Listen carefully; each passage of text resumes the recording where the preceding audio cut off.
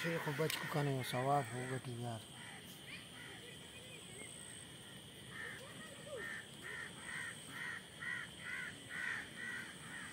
जा हाँ, मल तरा खुशी जा